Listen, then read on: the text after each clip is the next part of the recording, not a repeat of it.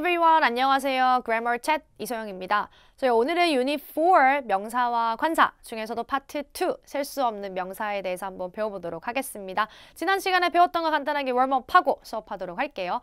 지난 시간에 명사에 대해서 했었는데요. 명사는 셀수 있는 명사 그리고 셀 수 없는 명사 두 가지로 나뉜다고 했었는데 그 중에서도 셀 수 있는 명사에서 명사에 대해서 우리가 배웠었죠.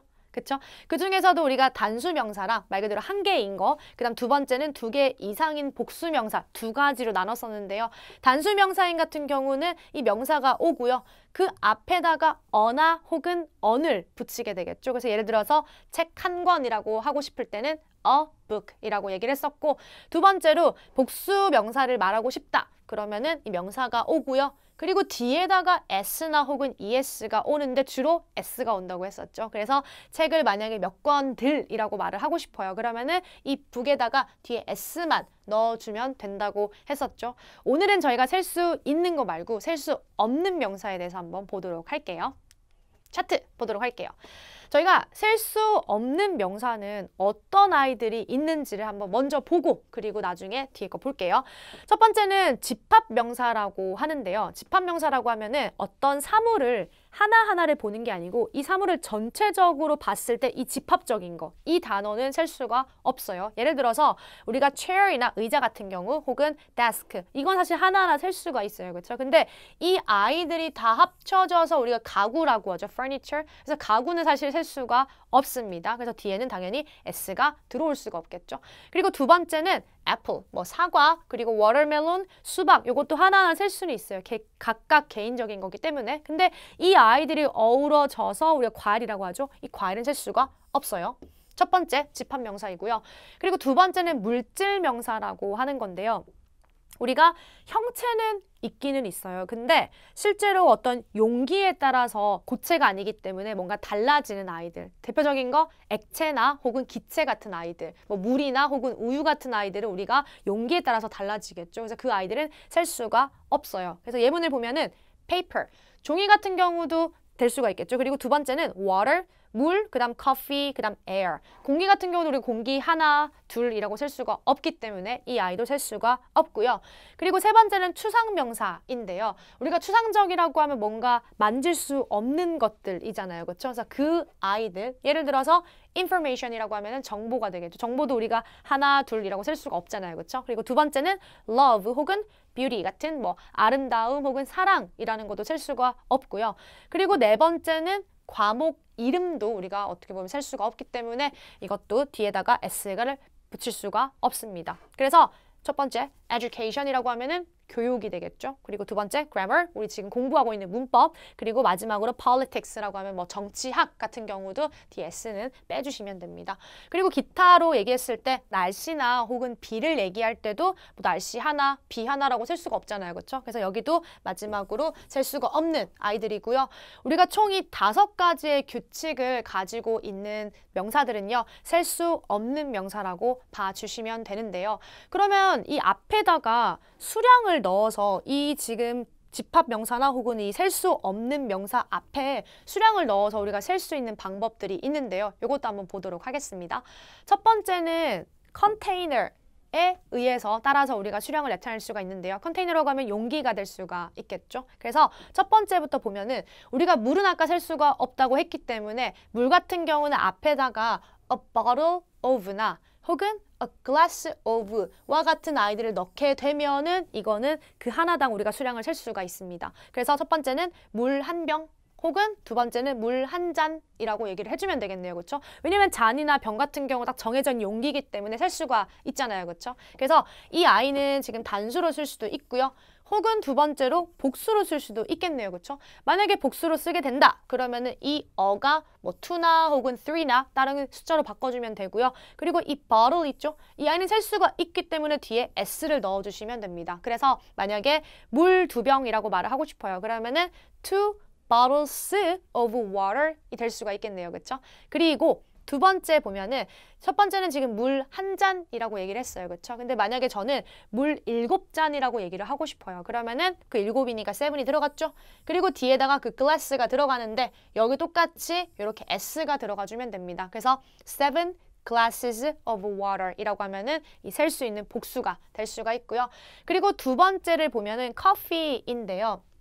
커피 같은 경우는 우리 주로 컵을 많이 쓰는데요. 왜냐하면 따뜻한 거기 때문에 주로 이렇게 유리잔에 쓰진 않겠죠. 그래서 a cup of coffee라고 얘기해주면 커피 한 잔이 되고요. 만약에 저는 커피 여섯 잔이라고 말을 하고 싶어요. 그럼 당연히 six가 오겠죠. 그리고 컵에다가 s만 넣어주시면 돼요. 그러면은 six cups of coffee가 완성이 되고요. 그리고 마지막으로 soup이라고 하면은 뭐 스프 한 사발 혹은 스프 하나 이렇게 말을 하고 싶어요. 그러면은 여기는 그 bowl이라는 단어가 들어가 주면 되고요. 그리고 만약에 저는 복수로 스프 여덟 잔 여덟 개를 말을 하고 싶어요. 그러면은 eight가 오고요. 뒤에다가 bowl 뒤에다가 s만 넣어주면은 되겠네요. Alright. 첫 번째는 용기를 따라서 수량을 나타낼 수 있는 법이고요. 그리고 두 번째는 포션에 따라서 바뀌는데요. 포션 같은 경우는 우리가 양을 얘기하는 거죠. 첫 번째 볼게요. 우리가 아까 종이도 셀 수가 없다고 했어요. 그래서 우리가 종이 한 장, 두 장이라고 말을 하고 싶어요. 그러면은 그 앞에다가 piece란 단어를 넣어주시면 돼요. 그래서 a piece of paper이라고 하면은 종이 한 장이 되고요. 그리고 이거를 만약에 복수로 종이 두 장을 말을 하고 싶어요. 그럼 당연히 두 장이니까 to가 왔겠죠. 그리고 piece에다가 또 s만 넣어주시면 됩니다. 그래서 two pieces of paper이라고 하면은 종이 두 장이 완성이 되고요. 그리고 우리가 자주 먹는 피자, 피자도 한 조각, 두 조각이라고 대바, 얘기할 수가 있잖아요. 그렇죠? 그래서 피자 같은 경우는 우리가 알고 있는 slice를 넣어주시면 돼요. 그래서 한 조각은 a slice of pizza라고 해주면 되고 만약에 다섯 조각이라 하고 싶어요. 그러면은 five 쓰고요. 그 다음 뒤에다가 s가 또 오겠네요. 그렇죠? 그래서 five slices of pizza라고 얘기를 해주시면 됩니다. 그리고 세 번째로는 measurement인데요. 말 그대로 우리가 측정할 수 있는 거 뭐 한 스푼, 두 스푼이라고 얘기하잖아요. 그렇죠? 그래서 여기 같은 경우는 오일 같은 경우 기름 티스푼 하나라고 얘기를 하잖아요. 그렇죠? 그래서 여기는 앞에 a teaspoon이라고 해주면 되고요. 만약에 오일을 티스푼 두 개, 라고 얘기를 하고 싶어요. 그러면은 또 똑같이 to가 오고요. 뒤에다가 s만 넣어주면 되겠네요. 그렇죠? 그래서 two teaspoons of oil이라고 얘기를 해주면 되고요. 그리고 마지막으로는 이거는 딱 정해진 건 없어요. 우리가 규, 충고라고 하죠. advice라고 하면 충고라고 하는데 충고도 사실 셀 수가 없어요. 충고 하나, 두 개라고 할 수가 없잖아요. 그렇죠? 근데 앞에다가 만약 똑같이 piece라고 넣어주면 은 그냥 충고라고 얘기를 해주시면 됩니다. 그리고 만약에 여러 가지의 충고 이 사람한테 하고 저 사람한테 들었다라고 하면 은 앞에 to 넣고 뒤에 똑같이 s가 와주면 되겠네요. 그렇죠? Alright. 그럼 저희 exercise 한번 보도록 하겠습니다. A 봐주시면 되고요. 그리고 페이지 64페이지 봐주시면 됩니다. 여기 보시면은 우리가 예문이 나와 있고요. 전체 다 명사예요. 셀 수 있는 거, 셀 수 없는 아이들인데요. 여기서 우리가 카테고리를 딱 맞게 첫 번째는 셀 수 있는 아이로 나눠놨고요. 두 번 셀 수 없는 아이로 이렇게 넣어주시면 됩니다. 먼저 하나씩 볼게요. 첫 번째는 furniture이라고 했어요. 그럼 우리 가구인데요. 가구는 셀 수가 아까 없다고 했었죠. 왜냐면은 아주 큰 집합체이기 때문에. Apple인데요. 어, 일단은 저희가 먼저 셀 수 있는 아이부터 먼저 보도록 할게요. 음. 뭐가 있을까요? furniture 아까 셀 수 없다고 했었고 그러면은 애플이 들어가주면 되겠죠. 그럼 사과 하나, 둘이라고 할 수가 있기 때문에 애플이 왔고요. 그 다음 우리 머니는 안 되겠네요. 그렇죠? 그럼 펜슬 같은 경우는 될 수가 있기 때문에 펜슬 넣어주시면 되고요. 그리고 food, 그 다음 북 같은 경우도 셀 수가 있죠. 북 한 권, 뭐 책 한 권, 두 권이라고 할 수 있기 때문에 여기도 북 넣어주시면 되고요. 그리고 네 번째는 티셔츠. 티셔츠 같은 경우도 셀 수가 있기 때문에 여기 넣어주시면 되고요. 그리고 마지막으로 달러. 우리 달러도 one dollar, two dollars라고 하잖아요. 그렇죠? 여기도 똑같이 달러를 넣어주시면 됩니다. 오케이. 그리고 두 번째는 셀 수 없는 아이들인데요. 하나씩 볼게요. 첫 번째, furniture. 아까 말한 것처럼 집합체이기 때문에 요거는 셀 수가 없겠죠. 그렇죠? 가구는 여기 들어가주면 되고요. 그리고 두 번째는 money. 사실 우리 아까 달러하고 money도 이런 차이예요. 달러는 money 안에 들어가 있는 거기 때문에 셀 수가 있는 거고 money 같은 경우는 뭔가 전체적으로 돈이기 때문에 셀 수가 없겠죠. 그래서 여기는 money가 들어가주면 되고요. 그리고 세 번째로는 food가 될 수가 있겠네요. 그렇죠? 왜냐면 음식도 음식을 뭐 하나, 둘 셀 수가 없기 때문에 여기 넣어주시면 되고 그 다음 네 번째는 air, 그렇죠? 우리가 기체 같은 거 용기에 따라 달라질 수가 있겠지만 이거는 어떻게 만들 수가 없기 때문에 air이라고 해주면 되고요. 그리고 마지막으로는 happiness라고 하면 이건 행복이란 뜻이죠. 행복도 너무 추상적인 거라서 또 우리가 셀 수가 없기 때문에 이 자리에 넣어주시면 됩니다. Alright, 우리 exercise B 보도록 할게요. B는 뭐냐면은 지금 이 앞에 있는 아이들은 non count noun이에요. 셀 수 없는 아이들이고 그리고 이 옆에 있는 아이들은 우리가 수량을 나타낼 수 있는 표현들인데 맞게끔 매칭을 시켜주시면 됩니다. 첫 번째부터 볼게요. 우리가 water, 물이라고 했어요. 그럼 물은 뭘까요? 그쵸? 물은 사실은 glass가 될 수도 있고요. 혹은 bottle 될 수도 있겠네요. 그쵸? 둘다 가능해요. 사실은. 그래서 1번은 이렇게 B도 되고요. 그리고 G도 되고 이렇게 두 가지로 가는 걸로 할게요. 그리고 두 번, 세 번째 보면은 bread예요. 그렇죠? 빵이에요. 빵도 여기서 뭐냐면은 a piece of bar loaf. 참고로 이거 빵 같은 경우는 loaf라고 해주면 되는데요. 이 아이는 빵 한 덩이라고 해석을 해주시면 됩니다. 그리고 number 5, 5번 보시면은 furniture예요. 우리 아까 가구도 셀 수 없다고 했었죠. 근데 가구는 우리가 한국말로는 한 점, 가구 한 점, 가구 두 점이라고 하잖아요. 그렇죠? 그 점을 말하고 싶을 때는 이 piece를 사용을 해주시면 됩니다. 그래서 a piece of furniture이라고 하면 가구 한 점이 되고요. 그리고 number seven. 7번 보면은 7번도 비누인데요. 비누 같은 경우는 요런 단어인 bar 넣어주시면 돼요. 그럼 해석은 그대로 그냥 비누 하나라고 해석을 해주시면 되고요. 그리고 마지막으로 wine인데요. 와인 같은 경우는 어디 가능할까요? 그렇죠? 사실 와인 같은 경우도 water 이 물이랑 비슷한 의미이기 때문에 a glass of wine, 와인 한 잔이 될 수도 있고요. 그리고 혹은 a bottle of wine, 그렇죠? 와인 한 병이라고도 얘기할 수가 있겠네요, 그렇죠? 그래서 1번하고 9번은 둘 다 가능하다고 봐주시면 됩니다. Alright, 그리고 C 보도록 할게요. 페이지는 65페이지 봐주시면 되고요.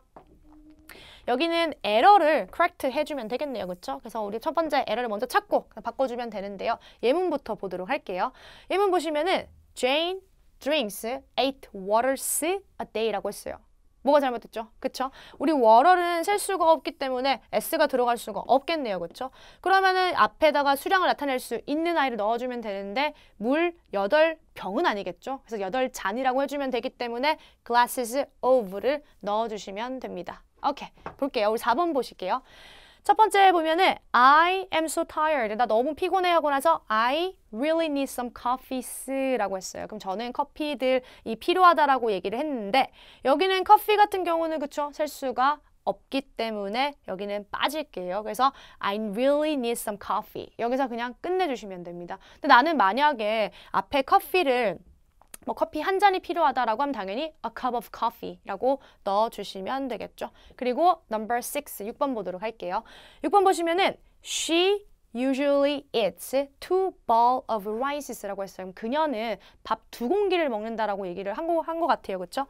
근데 여기서는 뭐가 잘못됐죠? 그렇죠? 일단은 bowl 요거는 맞기는 한데 앞에 two 복수기 때문에 그렇죠? 여기는 S가 들어가줘야 되고 그리고 rice 같은 경우는 사실 밥을 하나, 둘 셀 수가 없잖아요. 그렇죠? 그렇기 때문에 여기는 S가 빠지고 그냥 rice만 넣어주시면 됩니다.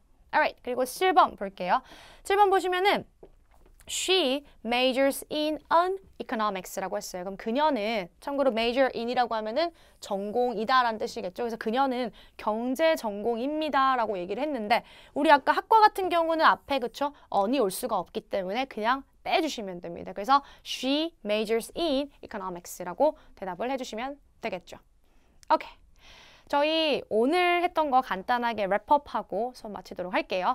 우리가 그 셀 수 있는 명사, 셀 수 없는 명사 두 가지가 있다고 했는데 그중에 셀 수 없는 명사에 대해서 배웠었고요. 오늘 셀 수 없는 명사는 그쵸 명사 앞에 어나 언도 올 수도 없고 그리고 뒤에다가 s나 es나 이 아이들이 s가 붙을 수도 없어요. 그렇죠?